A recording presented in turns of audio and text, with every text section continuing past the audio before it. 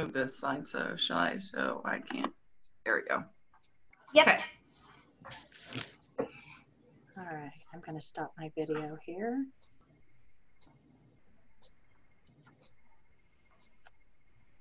Good afternoon. We're proud to have Dr. Jennifer Hutchens join us again for the um, next webinar, which now she is going to present the opioid ep epidemic.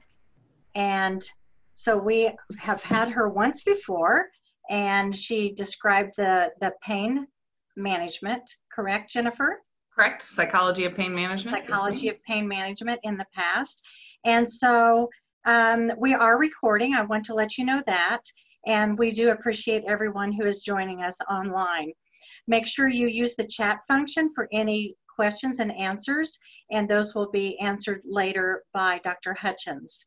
I'm going to let her um, introduce herself and tell you a little bit about herself and um, the Hutchens and Associates company that she represents. But I also want to draw your attention to the chat function where if you are applying for continuing ed, there is a link for you to complete um, to let everyone know about your knowledge before and after. So with that, I will let Dr. Hutchens take over.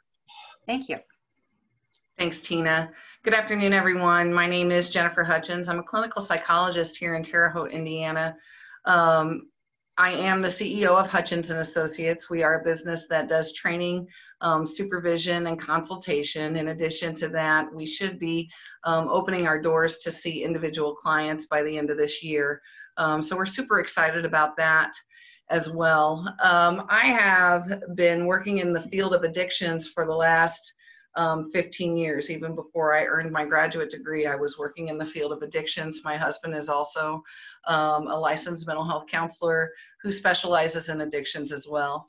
Um, previous to this uh, current position I hold, um, I was the chief of addiction services at Hamilton Center, um, and I worked at Hamilton Center for eight years in a variety of roles. Uh, the opioid epidemic has a long history, and we're going to talk about the rise of the opioid epidemic. It's my theory that you can't figure out how to fix um, a problem unless you know where the problem originated from. If we don't figure out how to um, we don't figure out the the etiology of the problem, then at that point it just becomes a band-aid. And I think, um, particularly for the opioid epidemic, we've been using band-aids for several several years. Um, this is not to say that there aren't other um, epidemics going on in the United States. Alcohol still remains the most abused um, drug of choice for adults um, and adolescents. Methamphetamine um, is still has a greater increase of um, abuse than many other uh, drugs, including opioids. But it's important because the opioid epidemic right now is one that is um, life threatening. Not that the others are not, um, but it's interesting to see the rise of it. So let's just talk about opioids for just a moment. Um, and I am going to be going pretty quickly at this point. If you do have questions, uh, please jot them down and we'll get them to the end. Um, and that way, you know, we can, we can uh, address everything um, in a more efficient way. Opiate comes from, this always cracks me up, right? Because everybody, most everyone, I shouldn't say everyone, but most everyone has seen um, The Wizard of Oz. And, and whenever I think of opium and poppies, I always think of the Wicked Witch of the West going, poppies, poppies. Um, but opiate does come from poppies, and it and it's developed into the opium drug, and then it's um, several derivatives from that: morphine, codeine, thebaine. And so, you know, for morphine, we devise heroin and hydromorphone. Um, codeine and uh, thebaine have their own derivatives, but they all come from, originate from the opium poppy. poppy. That being said, we have different types of opiates. Of course, everyone has heard of heroin, um, and heroin has a mechanism of action of a strong mu agonist. I'm not going to read this entire chart to you.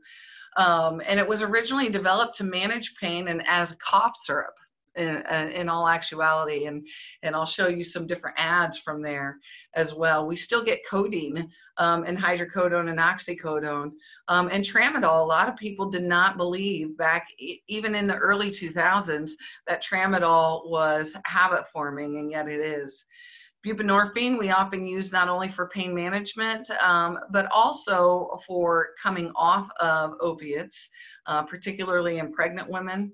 Um, and then we have naloxone and naltrexone who are antagonists, and they're going to block uh, that opioid receptor. And a lot of time, um, we definitely naloxone. You've heard a lot about that, I'm sure, to um, to use for opioid overdose. Um, and then naltrexone is often used to treat not only alcohol use disorder, but opioid use disorder. And again, it's not diverted um, on the street because it blocks um, the mu receptor. And um, then individuals who try to use opioids cannot get high when they're doing, uh, when they're using naltrexone. Um, so a lot of uh, ways to use um, drugs and opioids, including is smoking it. A lot of times I'll talk to individuals who will crush it and smoke it. Um, and the time to brain when you smoke something is seven to 10 seconds versus injecting it. The time to brain is 15 to 30 seconds of injected to a vein and then three to five minutes of injected to the muscle. And so you might ask, well, Jen, why aren't people smoking it rather than injecting it? And what ends up happening with our IV users is that they develop two addictions. They develop the addiction to the needle um, and also the addiction to the drug. So a lot of times when they can't get the actual drug, um, they will inject air or saline, which is very dangerous because they will get a pseudo high from their addiction to the needle. And then they're snorting. The time to the brain is three to five minutes um, for snorting. Um, so it's just, and of course, then just taking, ingesting, um, and swallowing, the time to brain is 20 to 30 minutes. So a lot of times people will start with the 20 to 30 minutes, find out that they can snort it faster. Um, they might go to injection. It just depends because there is a there is a stigma against IV users. In addition to that, is worse um, than abuse of the drug. In fact, a lot of individuals in recovery will say, "Well, I wasn't super bad because I never used needles," and so there there are conditions even with it among um, individuals who uh, have aberrant behavior, and then of course smoking. Um, they will eventually get to smoking or snorting after um, ingesting. So now that we know how to take things and get high faster, that was a joke. Please, please don't take me serious. Let's talk about um, jokes are always so hard on webinars because I don't know how they land, um, but I'm here all hour, guys. So here we go. Let's talk about the timeline uh, for the rise of the opioids. In 1804, um, morphine was distilled from opium for the first time. So we're looking at, you know, obviously in the 1800s, of course, anytime anybody has something that um, people want, we're going to fight a war about it, right? So the first Opium War broke out um, in 1839. Britain tried to force China to sell its Indian-grown opium, and British takes the Hong Kong, and then a separate war erupts in 1957. In 1853, it was the first the first syringe was invented and the inventor's wife was the first to die of an injection drug overdose. And i don't want to skip too far ahead but i do want you to see this needle. This is not a needle that is that is something that i would want coming from toward my body. Look at how thick that is. Um, but that was the first uh, morphine syringe in the 1800s and and you can see how easily it would be to get it wrong um, particularly for a drug that is as lethal as um, morphine. And then in 1898 a bayer chemist of course invents um, the the drug that is heroin okay? And so heroin was invented in 1898 now what's important to remember is that heroin was first marketed as a substitute for aspirin Okay, it was a, it was a cough sedative. Um, in 19 or 1898, it was marketed as a cough treatment, and this was one of the first ads. It moved from a cough treatment to a soothing syrup. And remember, nobody ever ever develops a drug thinking that it's going to have the devastating effects that heroin has had on the human population. You know, uh, it's not something that somebody in a lab goes in to create and says, this is doctors particularly, this is what we're going to use now to wipe out as many people as we can. Drugs always start to, to be something helpful. For example, everybody has heard of Rogaine Rogaine was not originally marketed as a um, as a hair growth product. It is actually a blood pressure medication. And what happened was doctors were prescribing Rogaine for blood pressure because it is a blood pressure medication and having all these women come back into their offices. Um, with beards and hair growing everywhere. And so then they had to pull it off the market and then do some things to it and remarket it. So just remember that drugs are not originally developed to be quote unquote bad, right? They're they're uh, developed to help individuals with things that they're struggling from. Mrs. Winslow's soothing syrup is another way that heroin was marketed, and it was marketed for children teething.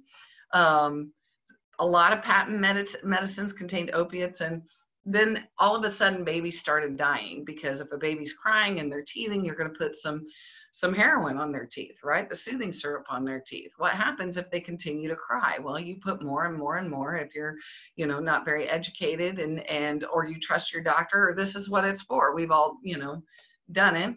Um not heroin that's not what i'm saying but we've all we've all said well this isn't working. Think about a toothache putting Anbesol on it. Maybe i should use more and then babies started dying and people started overdosing. So they had to start taking a look at that.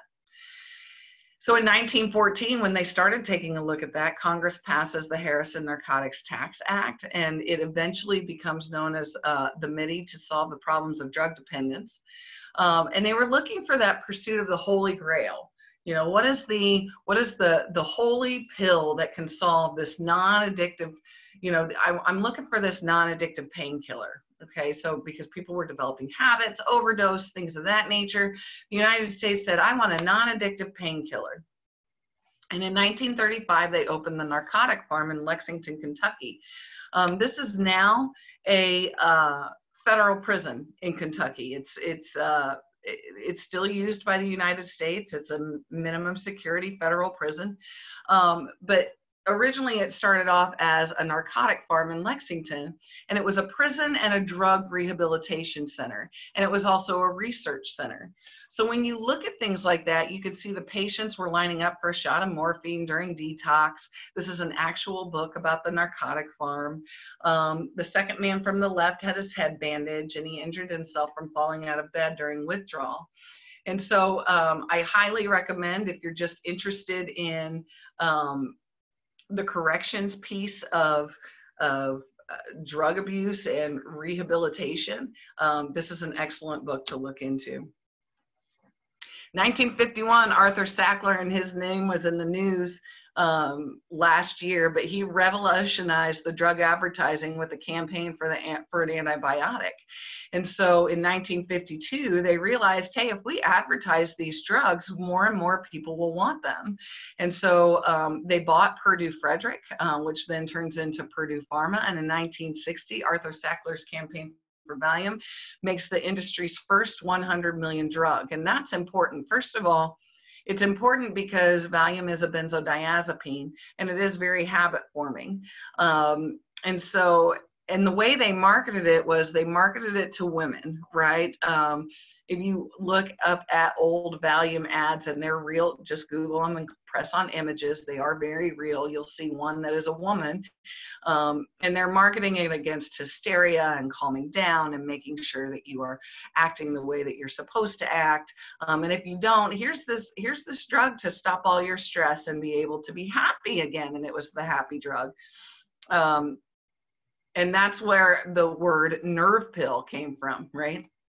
This 100 million drug so 100 million dollar drug. So what happens then is then it reinforces the idea that i need to market not only drugs but also habit forming drugs.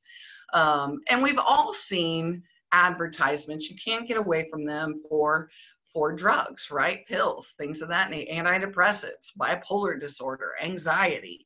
Um, you have a little cartoon with a with a with a uh, umbrella. I'm losing my words for a minute with an umbrella that um, with a woman under it and it's raining and then all of a sudden when she gets on the right drug it's sunshiny and she's able to pet the dog and things of that nature. And that actually started um, in 1951 with the antibiotic but then was revolutionized in 1960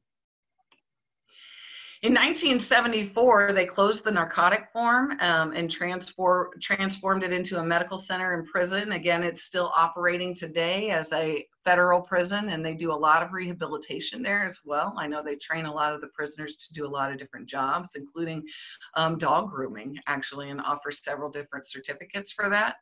1980, uh, uh, Jan Stjernswärd made the chief of the cancer program for the World Health Organization and devised the World Health Organization ladder of pain treatment, and this becomes important. The other important thing that happened in 1980 is that there was a letter published in the New England Journal of Medicine that became known as the Porter and Jick letter, and it simply says this. And while I know you can read, I'm going to go ahead and read this to you. Recently, we examined our current files to determine the incidence of narcotic addiction in 39,946 hospitalized medical patients who were then monitored. Excuse me, I have to move something on my screen. who were then monitored consecutively. Although there were 11,882 patients who received at least one narcotic preparation, there were only four cases of reasonably well documented addiction in patients who had a history of addiction. The addiction was considered major in only one instance. The drugs implicated uh, were meperidine in two patients, Percodan in one, and hydromorphone in one. And we conclude that despite this widespread use of narcotic drugs in hospitals, the development of addiction is rare in medical patients with no history of addiction. So this became the essentially cornerstone that says, hey, these drugs are not addictive, and this is what doctors use. Now, what the letter does not say is that nearly 40,000 that those hospitalized medical patients of nearly 40,000 in numbers were all in um, a long-term care nursing home. And that's what they don't say. And so it's important to remember that when we look at different studies, it's important to look at the population because this letter becomes the cornerstone of the excuses or the reasons that people can prescribe and yet nobody looked at the research. Nobody looked if to see if it was a peer reviewed study or anything like that. They just went off the basis of this letter to the editor. While this is going on um, with the world health organization we also see that in the early 1980s, the first Jalisco migrants set up their heroin trafficking businesses in um, Los Angeles. And so we've got one place over here going and yet coming up from under here, and this becomes important as we look at the timeline, um, over here is this rise of heroin and it's not your white powder heroin that you might see in New York City, but rather this black tar heroin coming out of the farms of the Jalisco migrants. 1984, Purdue Pharma releases MS Contin, a time-release morphine painkiller that's marketed to cancer patients. Um, and then in 1986, um, there was another published paper in the journal Pain that opened a debate about the use of opiate painkillers for a wider variety of pain. Originally, it was only utilized for once it came off um, of Bayer off, off the mainstream. Then it was only used for cancer patients. And then in 1986, Dr. Foley and Portenoy um, published this paper that said, hey, we can utilize this not just for cancer patients, but for more, uh, more widespread pain as well. And so this is where Jalisco is. And what happens with the Jalisco, why this is important is that dealers circulate a number around town. Um, the person who's wanting the drug calls in and an operator directs him to an intersection or a parking lot. Then the operator can dispatch a driver who tools around town, his mouth full of tiny balloons of heroin with a water bottle nearby in case he gets pulled over or stopped by the police for any reason.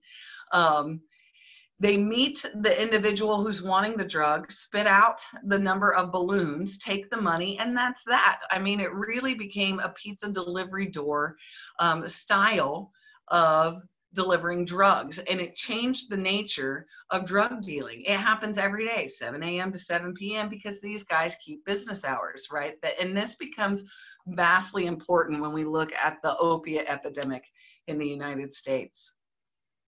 Sackler died in 1987. And so now in the early 90s, the Jalisco boys heroin cells are, are starting to expand beyond the San Fernando Valley um, across Western United States. In the 90s, Purdue Pharma also releases Oxycontin, which is also time-released oxycodone, marketed for largely chronic pain. So again, we got these two different tracks going on. Dr. David Proctor opened in Kentucky and is presumed the nation's first pill mill. And it's important that we talk about these pill mills because really this has really caused one of the biggest headaches um, for the opiate crisis. And then the president of the American Pain Society urges doctors to treat pain as a vital sign. Okay, 1996. The president of pain decided to treat, ask doctors to treat pain as a vital sign. We're going to talk about why that's important in just a second. 1988, um, black tar heroin uh, comes across the Mississippi River and lands for the first time in Columbus, Ohio. So now we're not just having this black tar heroin in the western states, but now it's moving over to the Midwest. Um, what's interesting about the pill mills is that rarely did patients during while they were going to these pill mills see a doctor. And there was a um, there was a, a 60 minute report on this about two years ago, and it's very very interesting, um, particularly about one incarcerated doctor from Florida. But it is a common theme that these doctors would prescribe these pills, running this pain clinic, and never actually saw the patients um, would go based off of assistance or um, based off of uh, the report and start writing these prescriptions.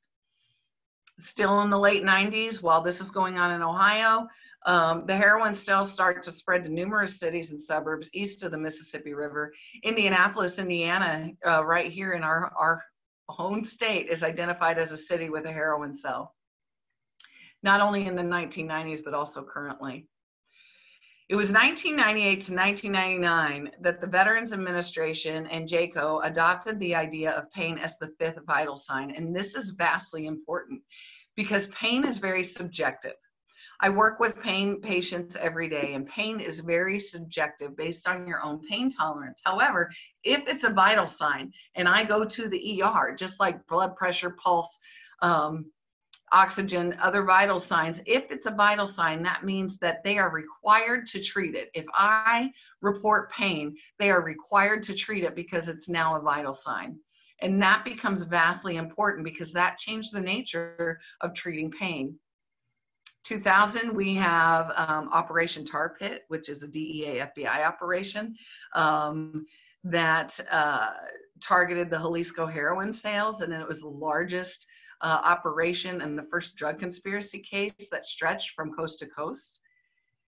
In 2001, injured workers, so now we're starting to see some of this taking effect, right? Cover injured workers that were covered under Washington State's workers' comp system or started dying of opioid overdoses. And yet, still, it wasn't till 2012, 2013 that the nation said, oh, oh, oh, we have a problem. This started happening back in 2001 where people started dying over overdose because of treatment of pain. 2002, um, Dr. Proctor gets busted. So that was the first pill mill um, bust in, in uh, the United States that really got some national attention. And he pled guilty to drug trafficking and cons- conspiracy. And he served 11 years in federal prison. So you can see this is a different one. This is not Dr. Proctor, but this is a different pill mill doctor that was sentenced to four terms in prison. And when you look at it, you can look at, uh, he was ordered to forfeit $1.2 million. Um, but look at the amount of drugs that he prescribed. From 2003 to 2006, from April 2003 to early 2006, so that's barely three years, he wrote prescriptions for at least 3.3 million pain pills, a number of anti anxiety and other types of pills, and was the largest buyer of oxycodone in the nation. There were 34 overdeath, overdose deaths among his patients, 19 of them from Kentucky. And so, what's in, not only do we look at the amount of pain pills that he was prescribing, but also the amount of anti anxiety pills that he was prescribing. Because an opioid and a benzodiazepine is an automatic respiratory risk, and they are not to be combined. And so at that point, we look at the practice of this doctor who was just simply furthering addiction. 2004, um, there were published findings on the death of injured workers due to overdoses, and yet still we don't say anything. You know, in addition to the medical side, we also keep in mind have to look at the black tar heroin cells because now they're at least in 17 states. Um, there are more pill mills per capita. Florida's tax regulations made it another center of illicit pill supply because Florida, they're just popping up everywhere, and um, their tax regulations made it possible. 2006 was another bust, uh, coast to coast across the country, second DEA option for Jalisco heroin sales. 2007, and so we're fighting heroin over here, but we're furthering addiction over here. Um, and yet, 2007, Purdue and three executives plead guilty to misdemeanor charges of false branding of OxyContin, and they're fined 300, $634 million. They're fined $634 million. And while that um, sounds like a lot, remember that Purdue Pharma generated $3.1 billion in the revenue on the drug oxycontin. And so a lot of times when i when i would used to treat um, individuals who engaged in drug dealing they would always tell me yeah i set money aside for my attorney because you have to. That's my savings. And so essentially this is essentially what purdue did. 3.1 billion dollars and they were fined 634 million dollars.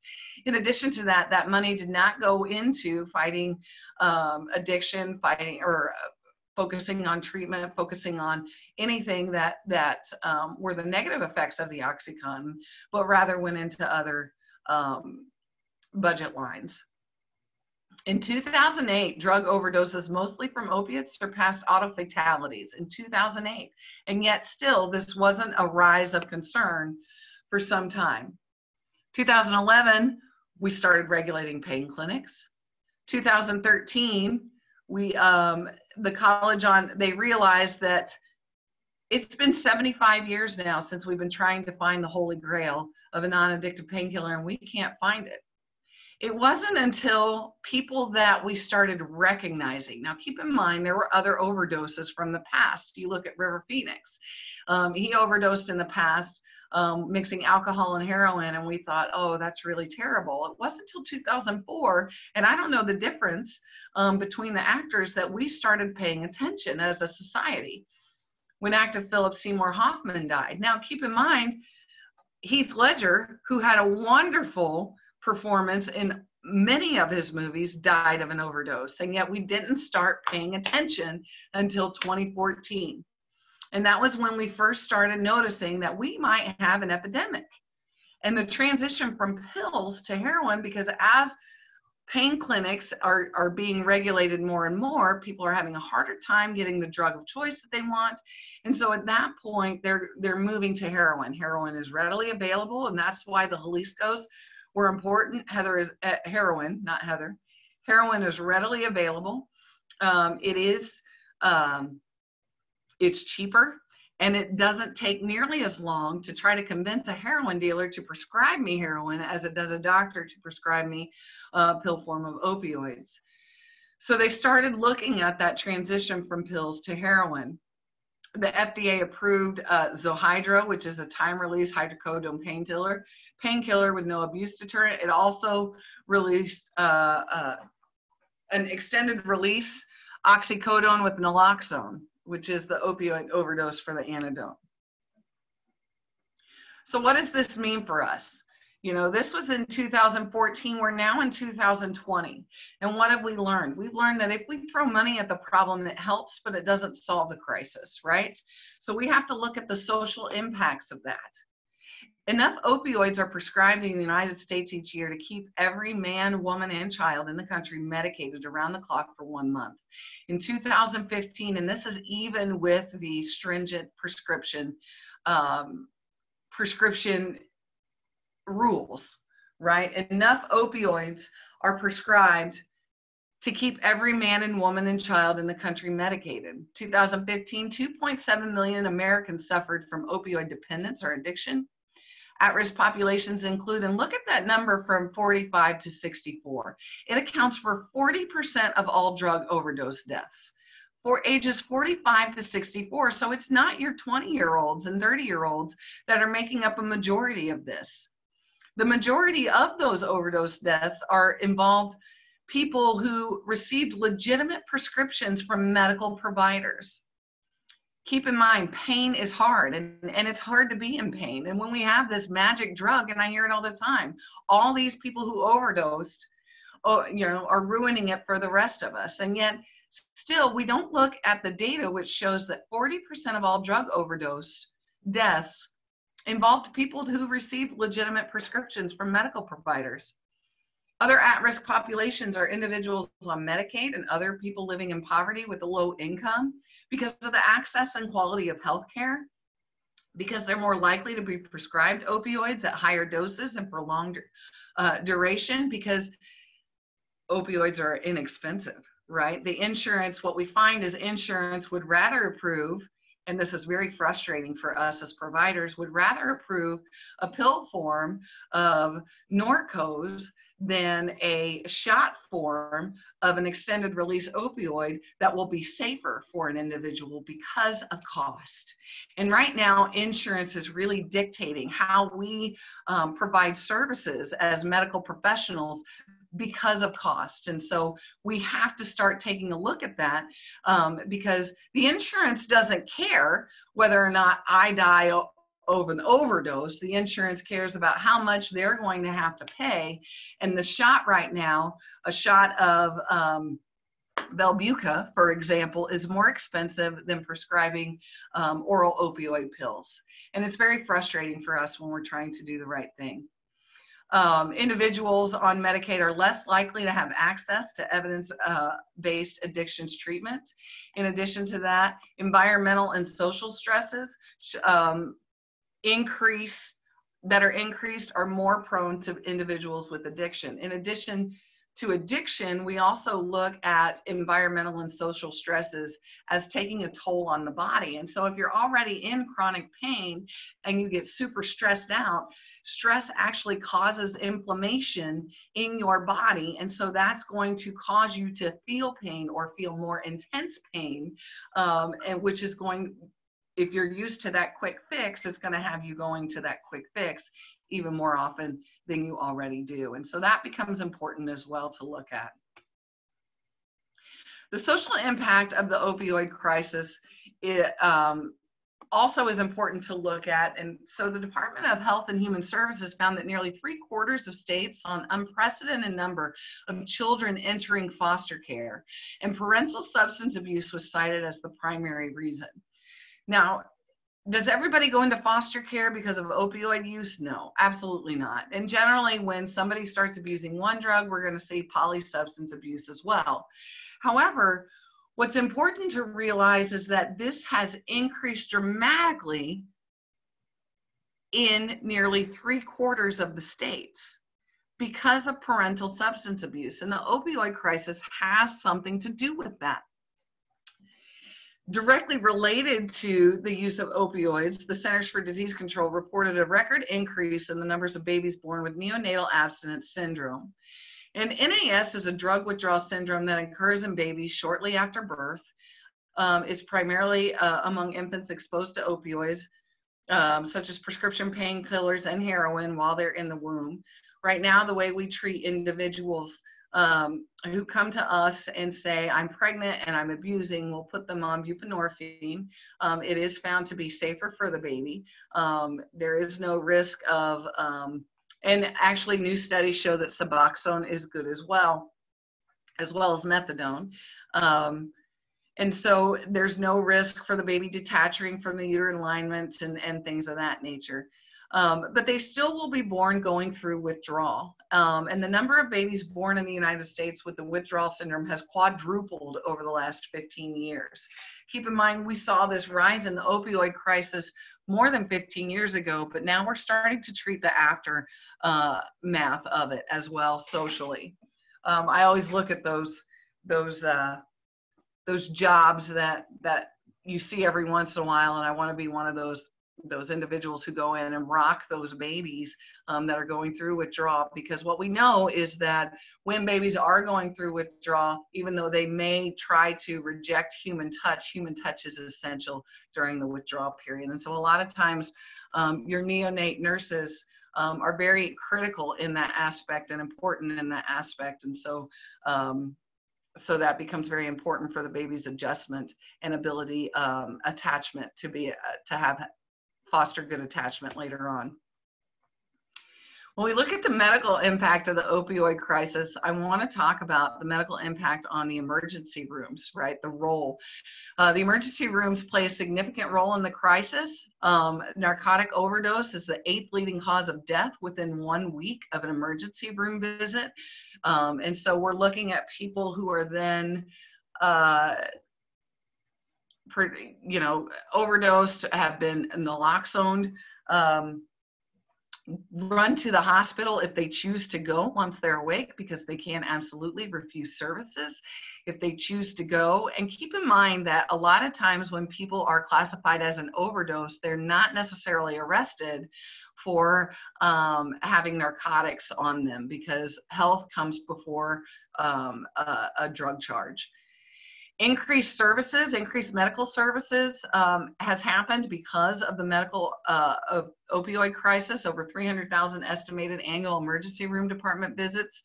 Um, happened last year alone and so you can uh, you can click on the www.in.gov this is the 2017 as an example.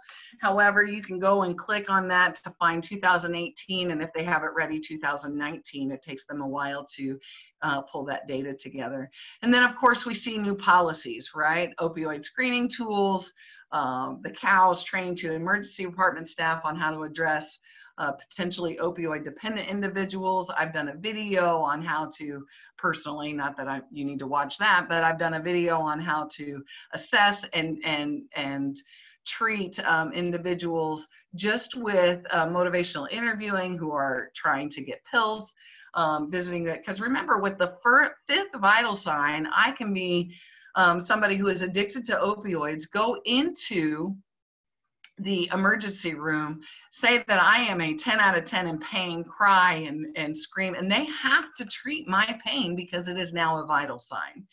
What used to happen was they would give you a prescription, a 7A prescription, follow up with your PCP. Well, my PCP is not going to prescribe me anything, so I'm just going to keep going back to the emergency room or doctor uh, doctor shop. Um, there's reduced administrative barriers to becoming uh, a buprenorphine prescriber. It doesn't cost any money. The only cost is um, associated with listing yourself on SAMHSA and perhaps the test cost.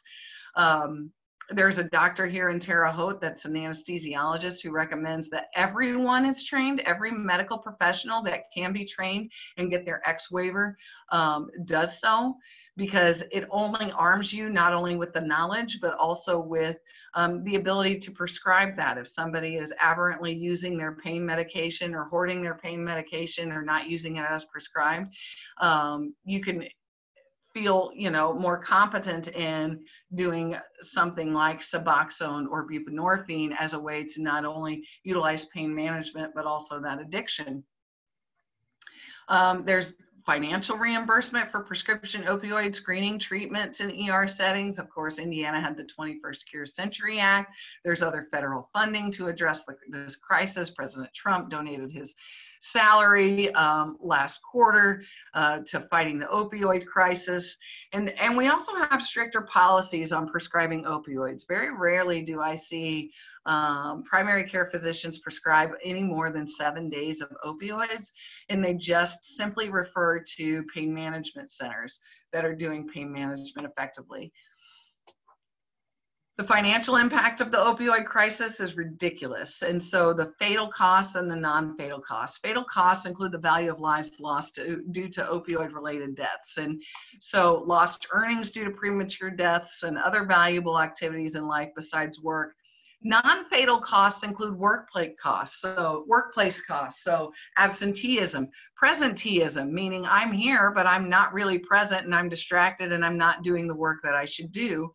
Um, disability costs, lost wages and employment, and then incarceration. Remember that it costs a lot to incarcerate an individual, particularly for addiction not only workplace costs, but we also have non-fatal costs that include healthcare costs, excess medical and drug slots, uh, substance abuse treatment, prevention and research, and then the criminal justice, of course, police protection and the training for the police um, to, to be able to save lives um, legal and adjudication, correctional facilities, property loss due to crime. And we also don't talk about the EAPs that then the first responders have to attend as well. Because when you're rolling up to the second or the same house the second or third time, getting ready to perform naloxone on them, um, there's compassion fatigue that comes along with that. In addition to potential PTSD in our first responders from watching someone nearly die or die while you're trying to resuscitate them simply from an opioid overdose. And so it's important to recognize that this becomes then a domino effect across um, professions. It's not, it's the ER, uh, the nurses and the uh, individuals, the doctors treating the individuals in the ER when they're trying to resuscitate these individuals for overdose. That's traumatizing. And we often don't address that in our healthcare providers, but it is very important because it is a non fatal cost of the opioid crisis. And so you look at this and the financial impact of the opioid crisis in 2001, it was $11.5 billion. Um, and that was just prescription opioids. 2007, it jumped up $50 billion in six years. In 2016, it jumped up to $79.9 billion. And then the difference between 2013 and 2015, and again, they included the illicit drugs in the 2015 but we're looking at the cost of the financial impact of the opioid crisis at over $500 billion. And that's really, really significant, particularly for, um, for the state of the country. We've lost close to 1 million workers to opioid addiction between 1999 and 2015, and this is ages 25 to 54, and it accounts for close to 25% of the total decline in the US labor force participation opioid addiction cost workers 12 billion working hours and that's that absenteeism and presenteeism that i'm talking about. In, in 16 years 12 billion working hours were cost just strictly due to opioid addiction. And then for every 1% increase in unemployment in the US, the opioid overdose death rose by nearly 4%. And so it seemed like we were fighting, and still sometimes today seems like we're fighting a losing battle because as we try to increase um, jobs, we are met with several different um, several different barriers. And one of those barriers is not only overdose death rates, but also just overdose or opiate use. And so we want to, we have to look at everything that it affects because these individuals again when you look at the 45 to 64 these are not your you know what people might describe as typical addict and i hate that word because it is so uh, stigmatizing you know, addiction doesn't discriminate from anyone, and people can use opioids and go to work, but it doesn't necessarily mean that they're going to be their best on the opioids. Um, and some people can use opioids and not go to work, you know, because they can't function. But what's important to remember is that it doesn't discriminate. Um, it doesn't care how much money you have. It doesn't care um, what color you are. It doesn't care what your gender is. It doesn't care if you're Christian or Muslim or Hindu. It doesn't give a care about your religion. It doesn't care about any of that. What it cares about is that you take this drug and you like it, and so you continue to take this drug. And then it's going to, again, have that domino effect we talked about. So, what does treatment look like, right? Because we talk about treatment, talk about treatment, talk about treatment. Old school says abstinence. And we see a lot of people um, relapse when it comes to abstinence simply because you don't necessarily die. Very few people die of opioid overdose. They just feel like they're going to die. It is like the stomach flu times a thousand, okay? Um, and you know, because opioids are designed to shut some certain things off in your body. And when you're going through withdrawal, all those things open. And so the nicest way I've learned how to say it is liquid coming out of every orifice of your body. And so a lot of people can't handle that withdrawal. And what we see is um, a majority of individuals going through abstinence only withdrawal um, all by themselves will relapse at day two or three when they just can't handle it anymore. So we look at pharmacotherapeutic medications. Methadone is one. Um, Indiana has started to increase um, their methadone clinics that are simply only for um, treating opioid addiction. Methadone is rarely prescribed as a pain management. Uh, drug anymore. It's still occasionally prescribed as that. And individuals who have a severe um, addiction are are good with methadone. Now keep in mind that this is this is designed to be a step down process. Some individuals don't like methadone. It's important that the methadone provider also pro provide um, individual counseling. All of these require individual counseling, group counseling, perhaps some case management, because when you're in that um, when you're in that state where you're ready to come off and you're you qualify for methadone or a pharmacotherapeutic medication, it, you also need intense treatment because that addiction has gone there. Buprenorphine is for moderate to mild, mild addiction severity. Uh, Suboxone is the same thing. And then naltrexone is for mild addiction uh, special populations, again, because it's that agonist. What the naltrexone and, and the bup and the methadone um, do is allow us to hit that receptor without the euphoria um, and stop that uh, that physical withdrawal. So then we can start to focus on the psychosocial factors of what happens with recovery. And without that then individuals are focused on um, if if the addiction is intense, are focused on their withdrawal symptoms and negative uh, uh, thoughts come into their head. They feel like they can't do it. And so that's when they go back to use. When we hit those receptors without the euphoria, we're able to have a clear mind with the patient to talk about what leads to um, triggers, what leads to cravings, and some other psychosocial factors that lead to drug use. Contingency management, I'm not a fan of. but it is one of the only things that is um,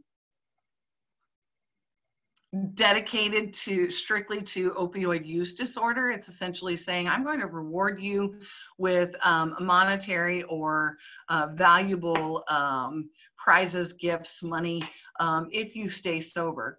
I do like recovery and training self help.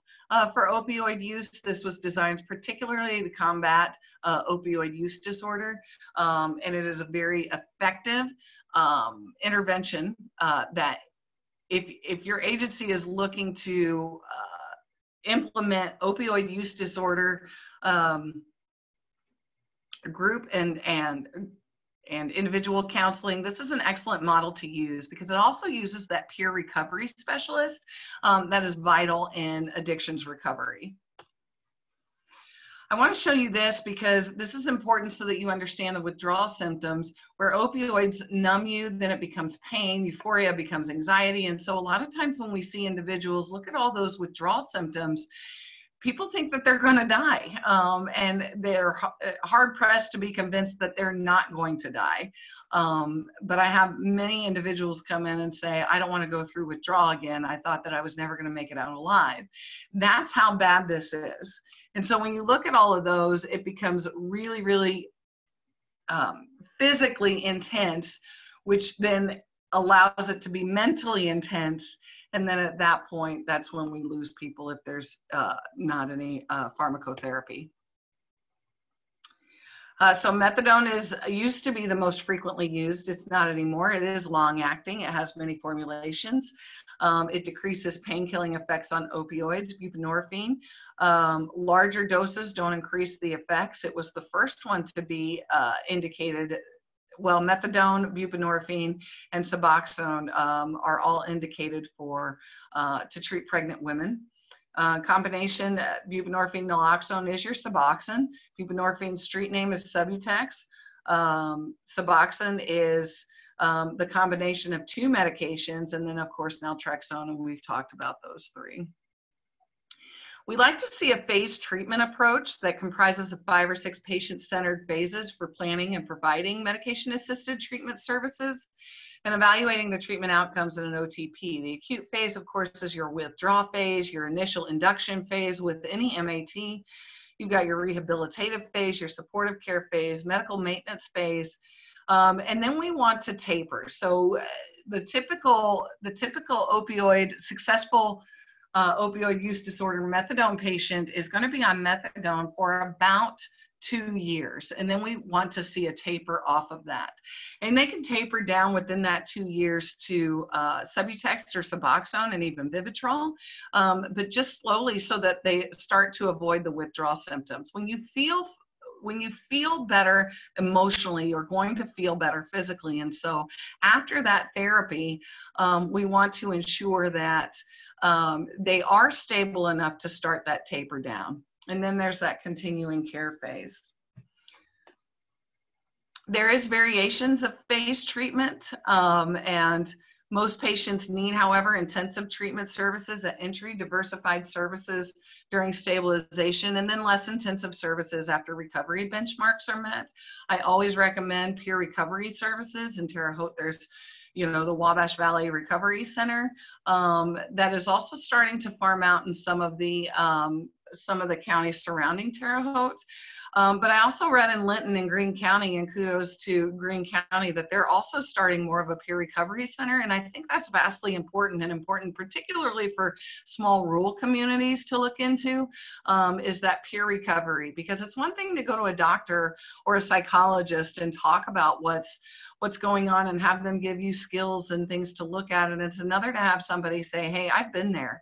Um, and um, I, I know what you're going through and I know what's on the other side and let me help you. And, and I think peer recovery specialists are vital not only to, you know, communities, but and smaller communities especially, but also to ERs and intensive care units um, and addictions units. Assessment of treatment should be ongoing and the duration of treatment is a team decision and it's based on not only what the doctor is seeing, but also what your therapist is seeing and what your case manager and peer recovery specialist and you, you know, or the individual um, that's being treated is seeing because they are the driver of their treatment.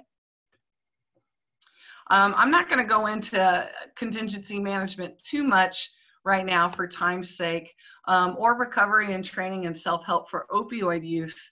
Um, just know that you know both of them work and a lot of times in inpatient units contingency management is used again for outpatient. This is the one that i prefer and that's just my my professional opinion.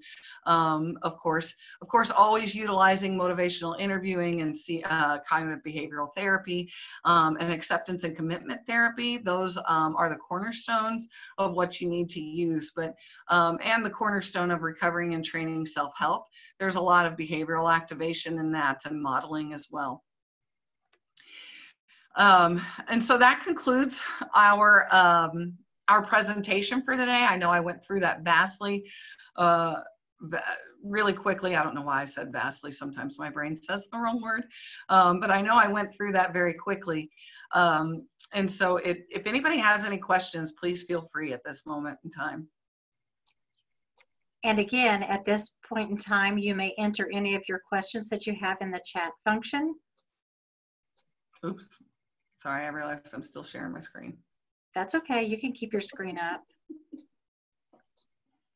Dr. Hutchens is an outstanding presenter, and I continue to learn something every time I talk with her or hear one of her presentations.